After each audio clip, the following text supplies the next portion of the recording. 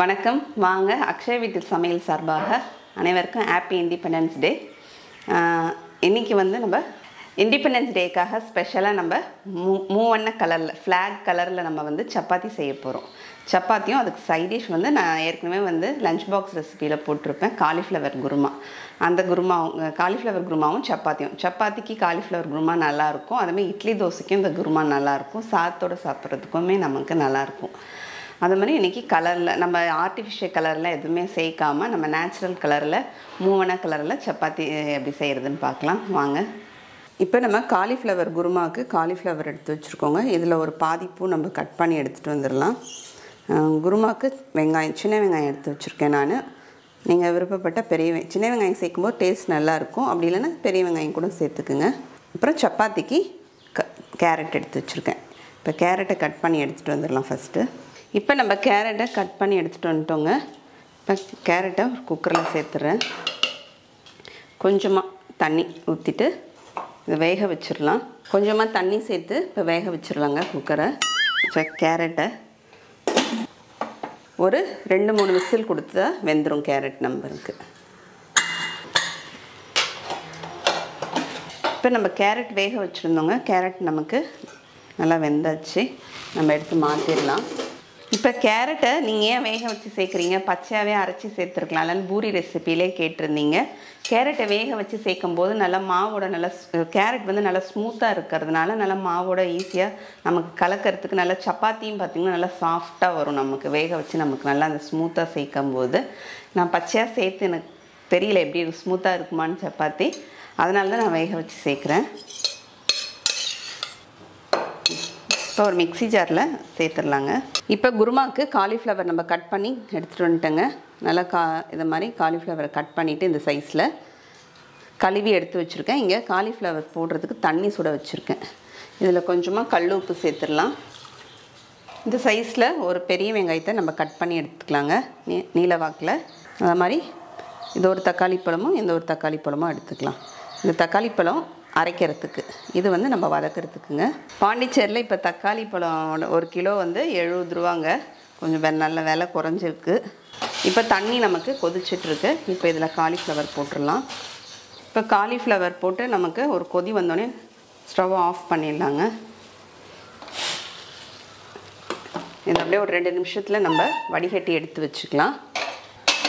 இப்போ குருமா தாளிக்கிறதுக்கு ஒரு ஸ்டவ்வில் குக்கர் வச்சுருக்கேன். இப்போ குருமா தாளிக்கிறதுக்கு இந்த சைஸில் ஒரு பட்டை ரெண்டு இந்த சைஸில் சின்னதாக பிரிஞ்சி இலை ஒரு நாலு கிராம்பு ஒரு கால் ஸ்பூன் சோம்பு தாளிக்கிறதுக்கு எடுத்து வச்சுருக்கேங்க.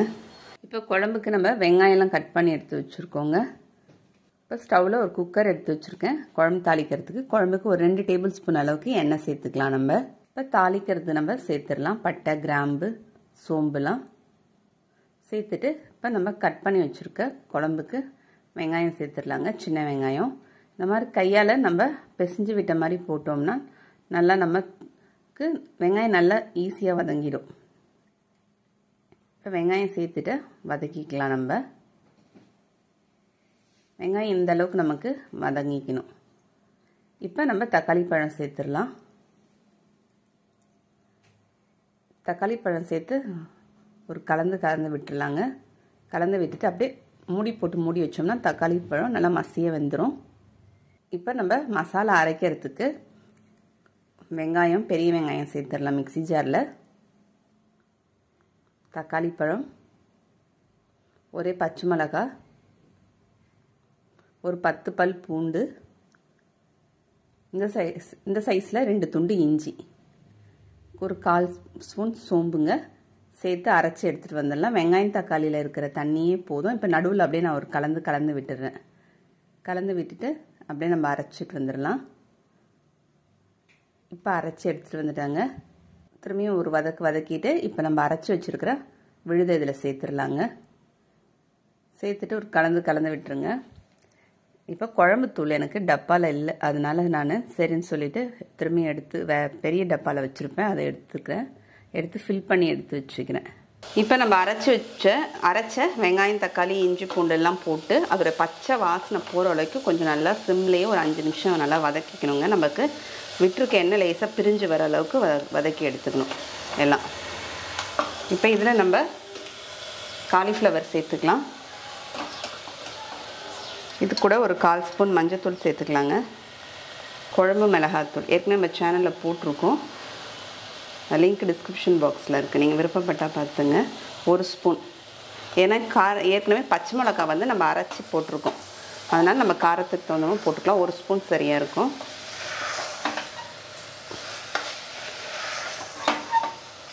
ஒரு கால் ஸ்பூன் கரம் மசாலா தூள் சேர்த்துக்கிறேன்.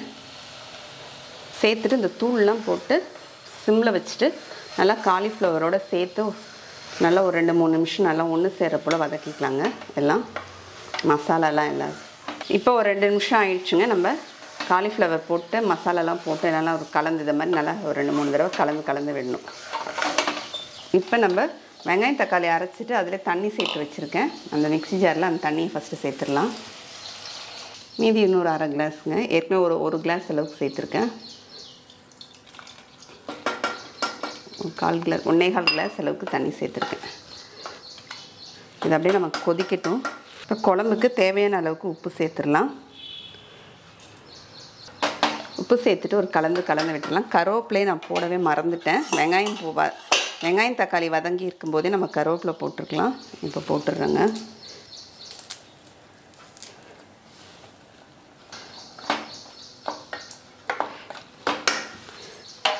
இது அப்படியே மூடி போட்டு சும்மா மூடி வச்சுட்டு வெறுமனே இது நமக்கு மூடி வந்து நம்ம க்ளோஸ் பண்ண தேவையில்ல அப்படியே வெறுமனே மூடி வச்சு கொதி வரட்டும் நமக்கு. ஒரு அஞ்சு நிமிஷம் அஞ்சாறு நிமிஷம் நமக்கு நல்லா கொதிக்கணுங்க. ஒரு மீடியம் ஃப்ளேமில். இப்போ இந்த அளவுக்கு நாலு பத் பத்தை தேங்காய் பல் எடுத்துக்கலாங்க. ஒரு முழு முந்திரி ஒரு அஞ்சு. இந்த சின்ன ஸ்பூனால் ஒரு ஸ்பூன் கசகசா. கூட ஒரு ஒன்னேகால் ஸ்பூன் அளவு போட்டுக்கிறேன். ஃபஸ்ட்டு இதெல்லாம் வெறுமனே ஓட்டிட்டு அதுக்கப்புறம் தண்ணி சேர்த்து பேஸ்ட்டாக அரைச்சி எடுத்துக்கலாம். இப்போ தண்ணி சேர்த்து அரைச்சிக்கிறேங்க. இப்போ நம்ம தேங்காய் பே விழுதெல்லாம் நல்லா அரைச்சி எடுத்துகிட்டு வந்துட்டோம். இப்போ நல்லா மைய ஸ்மூத்தாக அரைச்சி எடுத்துகிட்டு வந்துருச்சுங்க. மிக்ஸி ஜார் வந்து இந்த மிக்ஸி ஜார் நான் வந்து வாங்கினேன் புதுசாக பழைய மிக்ஸி ஜார் என்ன ஆச்சுன்னு பார்த்தீங்கன்னா ஒரு நாள் தேங்காய் அரைச்சிட்டே இருக்கும்போது நல்ல டப்புன்னு சத்தம் கேட்டுச்சு. உள்ள பிளேடு உடச்சிடுச்சு அதனால சரிட்டு இப்போ இந்த ஜார் வாங்கி ப்ரீத்தி ஜார் வாங்கிட்டு வந்தேன். இப்போ நம்ம மூடி போட்டு ஒரு ஆறு ஏழு நிமிஷம் ஆயிடுச்சுங்க. இப்போ நமக்கு நல்லா கொதிச்சிட்ருக்கு தூளுடைய பச்சை வாசனையும் நமக்கு நல்லா போயிருக்கும். இப்போ அரைச்சி வச்சுருக்கிற விழுதை சேர்த்துடலாம். இப்போ நம்ம மிக்சியில் அரைச்சி வச்சுருக்கிற விழுதை சேர்த்துட்டு அதில் தண்ணி சேர்த்துருக்கேன் ஒரு கால் கிளாஸ் அளவுக்கு. தண்ணியும் அப்படியே சேர்த்துடுறேங்க. சேர்த்துட்டு அதுக்கப்புறம் நம்ம கலந்து விட்டுடலாம். உப்பு கொஞ்சம் கம்மியாக இருக்குது உப்பு சேர்த்துக்கிறேன். இப்போ தேங்காய் அரைச்சி ஊற்றி ஒரு கொதி வந்தாச்சுங்க. இப்போ ஒரு கொதி வந்தோடனே நம்ம குக்கரை மூடி போட்டு மூடிடலாம். அந்த சின்ன பர்னருக்கு மாற்றிடுறேன் குக்கரை. இதில் ஒரு ரெண்டு விசில் வந்தோடனே ஆஃப் பண்ணலாம். ஒன்று இல்லை ரெண்டு. வந்தோடனே ஆஃப் பண்ணிடலாம். இப்போ குக்கர் காலிஃப்ளவர் குருமாக்கு குக்கர் ரெண்டு விசில் வந்தோடனே நான் ஸ்டவ் ஆஃப் பண்ணி எடுத்து வச்சுட்டேன். இப்போ கேரட்டை மிக்சியில் மாற்றிட்டு இதை நம்ம நான் ஸ்மூத்தாக அரைச்சி எடுத்துகிட்டு வந்துடலாங்க. இங்கே ஸ்டவ்வில் ஒரு வானலில் தண்ணி சுட வச்சு எடுத்து வச்சுருக்கேன். சுட சுட்டுட்டே இருக்குது இப்போ தெரியாதவங்களுக்கும் சொல்கிறேன் குழந்தைங்க ஒரு ஆறு மாதம் குழந்த வச்சுருக்கிறீங்கன்னா இந்த மாதிரி கேரட் வேக வச்ச கேரட்டை இதில் கொஞ்சமாக நம்ம பால் சேர்த்து குழந்தைக்கு அப்படியே அரைச்சி நல்லா ஒரு ஸ்பூன் போட்டு ஊட்டி விட்டிங்கன்னா ரொம்பவே நல்லது உடம்புக்கு. ரொம்ப ஹெல்த்தியாகவும் இருக்கும். நிறைய பேர் குழந்தைக்கு பே பேபி ஃபுட் சொல்லுங்கள் பேபி ஃபுட் சொல்லுங்கன்னு கேட்டிருந்தீங்க. இந்த மாதிரி கேரட் கொடுக்கலாம். இந்த மாதிரி பீட்ரூட்டும் இந்த மாதிரி வேக வச்சு அரைச்சி கொடுக்கலாம். அந்த மாதிரி இப்போ குழந்தைங்களுக்குலாம் சக்கரவள்ளி கிழங்கு ரொம்பவே நல்லது. வெயிட் போடணும்னு நினைக்கிற குழந்தைங்களுக்கு சக்கரவள்ளி கிழங்க சாப்பிட்ற குழந்தைங்களா இருந்தால் அப்படியே மசிச்சு ஊட்டி விட்டுருங்க. இல்லைனா கூட கொஞ்சம் அரைச்சி விடலாம். அது மசிஞ்சிரும். அதை அப்படி அப்படியே நாக்கில் தடவி விட்டு இப்படி வாயில் தடவி விட்டோம்னாவே ரொம்ப நல்லது. வெயிட் போடுறதுக்கு மட்டும் இல்லை நிறையா ஸ்டாமினா இருக்குது அதில். குழந்தைங்களுக்கு கொடுக்கும்போது ரொம்பவே நல்லாயிருக்கும் இப்போ நம்ம கேரட் அரைச்சிட்டு வந்துடலாங்க. இப்போ கேரட் நம்ம அரைச்சி எடுத்துகிட்டு வந்துட்டோம். இப்போ அதுக்குள்ளே இங்கே தண்ணியும் நமக்கு கொதிச்சாச்சு. இப்போ இங்கே பாலக்கீரை எடுத்து வச்சுருக்கேன். க்ரீன் கலருக்கு பாலக்கீரை சேர்க்க போகிறோம் நம்ம. நல்லா ஒரு கை ஒரு ஒரு கட்டில் அரை கட்டு அளவுக்கு எடுத்து வச்சிரு பாதி எடுத்து வச்சுருக்கேன் ஒரு கட்டில். இப்போ இந்த கொதிக்கிற தண்ணியில் நம்ம போட்டுடலாம். பாலக் சப்பாத்தி. பாலக் சப்பாத்திங்க. ஏற்கனவே பாலக் சப்பாத்தி நம்ம சேனலில் போட்டிருக்கோம். இப்போ ஸ்டவ் ஆஃப் பண்ணிடுறேன். கொதிக்கிற தண்ணியில் போட்டுட்டு உடனே நம்ம ஸ்டவ் ஆஃப் பண்ணிடலாம். தண்டுலாம் போடக்கூடாது. வெறும் கீரையை மட்டும் நம்ம யூஸ் பண்ணிக்கணும். போட்டுட்டு இது ஒரு நிமிஷத்துலேயே நம்ம அப்படியே எடுத்து வடிகட்டிக்கணுங்க. அதுக்கு மேலே இருந்தால் கீரையோடைய கலர் வந்து நமக்கு மாறிடும். கீரை நம் அந்த பாலக்கீரை சப்பாத்தியில் நம்ம வீட்டில் இருந்து கீரை பறிச்சோமா? அப்படியே நல்லா ஃப்ரெஷ்ஷாக இருந்துச்சு அதில். இப்போ ஒரு நிமிஷம் போல் ஆயிடுச்சு நமக்கு. கீரையை எடுத்துடலாம். அதுக்குள்ளே குக்கரில் ப்ரெஷர் அடங்கியாச்சுங்க நம்ம ஓப்பன் பண்ணிடலாம். இப்போ கொஞ்சமாக கொத்தமல்லி தழை போட்டுடலாம். இப்போ நமக்கு காலிஃப்ளவர் குருமா ரெடியாக இருக்குது இப்போ கீரை நமக்கு ஆறியாச்சுங்க. ஒரு மிக்ஸி ஜாரில் சேர்த்துடலாம். இது கூட ஒரு அஞ்சு பல் பூண்டு ஒரு பச்சை மிளகா.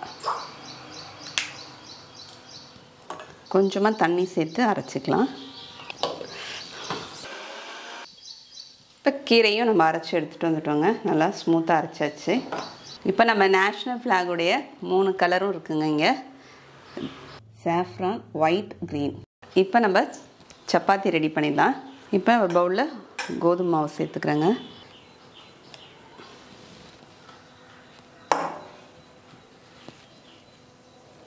இப்போ மாவில் தேவையான அளவுக்கு உப்பு சேர்த்துடலாம். இப்போ கேரட் விழுது சேர்த்து நம்ம பிசைஞ்சிக்கலாம். மாவு நமக்கு எந்த அளவுக்கு எடுத்துக்கிறோமோ அந்த அளவுக்கு கேரட் விழுது எடுத்துக்கினா நமக்கு சரியாக இருக்கும். கொஞ்சம் கொஞ்சமாக சேர்த்து நம்ம பிசைஞ்சிக்கலாங்க. அப்புறமா வேணும்னா நமக்கு தண்ணி தேவைப்பட்டால் தண்ணி சேர்த்துக்கலாம். இப்போ நம்ம அரைச்சி விழுதெல்லாம் சேர்த்து மாவு பிசைஞ்சாச்சு. இதில் கொஞ்சமாக இப்போ எண்ணெய் சேர்த்துக்கலாங்க.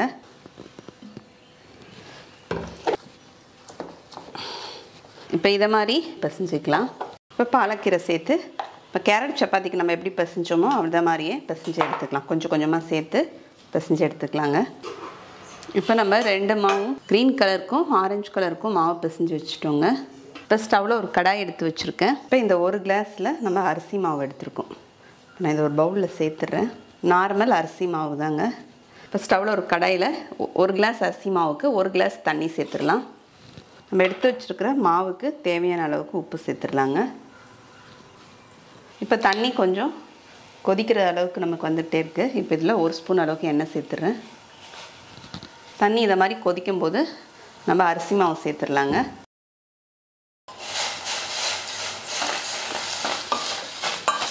அரிசி மாவு சே சேர்த்துட்டு ஸ்டவ் ஆஃப் பண்ணிடுறேங்க. விஸ்கில் எல்லாம் போயிட்டு முள்ளே மாட்டிக்கிச்சு மாவு. இதை அப்படியே நம்ம தட்டு போட்டு ஒரு ரெண்டு நிமிஷம் போல் மூடி வச்சிடலாம். இப்போ நம்ம மூடி வச்சு ஒரு மூணு நாலு நிமிஷம் தான் ஆயிடுச்சுங்க. இப்போ நம்ம திறந்துக்கலாம். திறந்துட்டு பிசைஞ்சிக்கலாம். சூடாக இருக்குது ஃபஸ்ட்டு ஒரு கரண்டி வச்சுட்டு இந்த கை சைடில் இருக்கிறது எல்லா மாவையும் எடுத்துடலாங்க. கொஞ்சம் வே லேசாக சூடு இருக்கும்போதே நம்ம மாவு பிசையணுங்க. அதுதான் மூடி வச்சு ஒரு மூணு நாலஞ்சு நிமிஷத்துலேயே நம்ம ஓப்பன் பண்ணி இப்போ கை இங்கே வந்து தண்ணி எடுத்து வச்சுருக்கேன். கையை சும்மா வெறும்னு இதில் நினச்சிட்டு அப்படியே பிசைஞ்சிடலாம். திரும்பியும் கை நினச்சிக்கலாம். மாவு இன்னும் நல்லா பிசையணுங்க. நல்லா சாஃப்டாக பிசையணும்.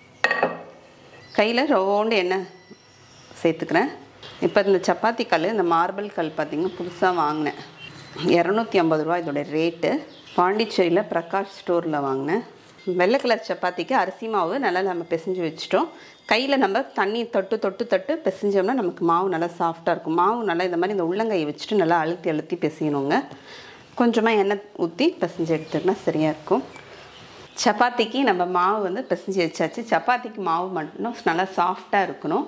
நல்லா லூஸாக சாஃப்டாக பிசைஞ்சால் சப்பாத்தியும் நமக்கு நல்லா சாஃப்டாக இருக்கும். இந்த மாதிரி நல்லா கை வச்சோம்னா நமக்கு இந்த மாதிரி ப்ரெஸ் இந்த மாதிரி நல்லா சப்பாத்திக்கு மாவு நல்லா சாஃப்டாக இருக்கணும். கை வச்சு இப்படி பண்ணால் நல்லா சாஃப்டாக இருக்கணும். நீங்கள் வெள்ளை கலருக்கு கோதுமை நார்மல் சப்பாத்தி கூட பெஸ் கோதுமை மாவில் கூட பிசைஞ்சிக்கலாம். நான் கொஞ்சம் வித்தியாசமாக இருக்கட்டுமேனு வெள்ளை கலர் வரணுன்றதுனால இன்றைக்கி நான் அரிசி மாவு எடுத்துக்கிட்டேன். இல்லை நம்ம கோதுமை மாவில் கூட சப்பாத்தி செஞ்சுக்கலாம். இப்போ மூணுத்தையும் நம்ம உருட்டிடலாங்க. இப்போ நம்ம கட் பண்ணிடலாங்க. மூணு கலர் சப்பாத்தி மாவையும் கட் பண்ணி எடுத்துக்கலாம். கட் பண்ணிவிட்டு அப்படியே மூணுத்தையும் ஒன்று சேர்ந்த போல் அப்படியே வச்சுட்டேன். கொஞ்சம் கஷ்டமாக தான் இருக்குது எனக்கு உருட்டுறதுக்கு. ஏன்னா பிரிஞ்சு பிரிஞ்சு வருது. ஒவ்வொரு கலரும் தனித்தனியாக பிரிஞ்சு வருது. நடுவில் உருட்டிட்டேன். உருட்டிட்டு ஒரு பீஸா கட் வச்சு அப்படியே கட் பண்ணி எடுத்துக்கிட்டேன் ரவுண்டாக இதை வந்து இண்டிபெண்டன்ஸ் டேக்காக நான் வந்து ரெடி பண்ணேங்க.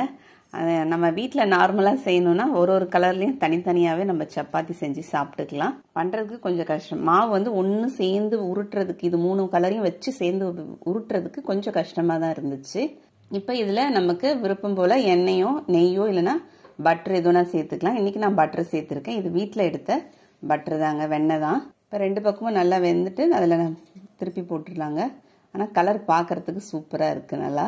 தேசிய கொடி சப்பாத்தி ரெடி ஆயிடுச்சு. இது அரிசி மாவு சப்பாத்திங்க.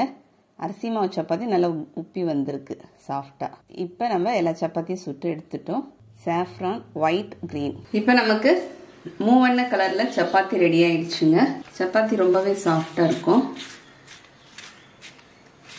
இது மாதிரி அரிசி மாவில் செஞ்ச சப்பாத்தியும் ரொம்ப சாஃப்டாக இருக்கும். இப்போ நம்ம சப்பாத்தி டேஸ்ட் பார்த்துடலாங்க சப்பாத்திக்கும் குருமாவுக்கும் டேஸ்ட் ரொம்பவே நல்லா இருக்கு. குருமா ரொம்பவே நல்லா வந்திருக்கு. அரிசி மாவு சப்பாத்திக்கு மட்டும் சப்பாத்தி மாவு பிசைஞ்சு நம்ம உடனே மூடி வச்சுட்டு உடனே அதை வந்து போட்டுடணும். ஏன்னா காய்ஞ்சிடுச்சுன்னா மாவு வந்து விழுந்து போயிடும். ஆனால் ரொம்ப அப்பப்போ நம்ம ஈரத்துளி போட்டு அதை மூடி அதை மூடி வச்சுட்டு பிசைஞ்சு எடுத்தோம்னா நல்லா ஈஸியாக வருங்க உருட்டுறதுக்கு சூப்பராக இருக்குது எல்லாமே. சப்பாத்திலாம் சாஃப்டாக இருக்குது எல்லாமே. நீங்களும் இந்த மாதிரி செஞ்சு பார்த்துட்டு எப்படின்னு கமெண்ட்ஸில் சொல்லுங்கள் அடுத்த வீடியோவில் பார்க்கலாம். தேங்க்யூ